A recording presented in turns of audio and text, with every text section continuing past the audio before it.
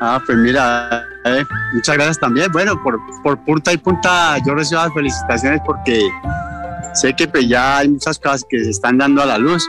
Uy, yo creo que yo creo que la vida lo sorprende a uno y, y Dios siempre nos da unas bendiciones muy grandes. Yo creo que esta es una gran bendición también de ver que detrás de esa gran familia que está formando va a venir una gran persona, un buen ser también que va a ser el, el, el, reflejo de ellos, porque son unas excelentes personas, no porque sean mi ni mi yerno, pero yo creo que son unas personas muy dadas a la gente, muy humildes y muy transparentes. Entonces me siento orgulloso de eso. Yo sé que esa va a ser la trascendencia de ellos.